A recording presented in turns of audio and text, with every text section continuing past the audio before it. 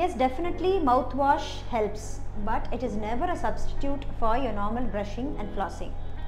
Actually பார்த்தீங்கன்னா நிறைய different types of mouth washes இருக்குது நீங்கள் அந்த இன்க்ரீடியன்ஸில் கேர்ஃபுல்லாக பார்த்தீங்கன்னா அந்த டோட்டல் அந்த மவுத் வாஷோட இன்க்ரீடியன்ஸ் வந்து it is different for different conditions so if you ask your dentist he would would mouth washes for specifically for bad breath or gingivitis gum inflammation இருந்துச்சுன்னா அதுக்குன்னு தனியாக மவுத் வாஷ் இருக்குது இல்லை your prone to cavity நிறைய cavity form ஆகிறதுக்கு உங்களுக்கு chances இருக்குது அப்படின்னா ஃப்ளூரைடு மவுத் வாஷஸ் யூஸ் பண்ணலாம்.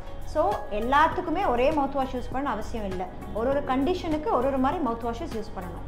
So these mouth rinses are not a substitute for your normal brushing and flossing நீங்கள் நார்மலாக ப்ரஷிங் ஃப்ளாசிங் எல்லாம் பண்ணிவிட்டு உங்களுக்கு என்ன கண்டிஷனோ அதாவது கம்ஸில் ப்ளீடிங் இருக்கா? இல்லை உங்களுக்கு பேட் பிரெத் இருக்கா? இல்லை நீங்கள் கிளிப்பு போட்டிருக்கீங்களா? பிரேசஸ் போட்டிருக்கீங்களா? இல்லை உங்களுக்கு கேவிட்டிஸ் நிறைய ஃபார்ம் ஆகுதா?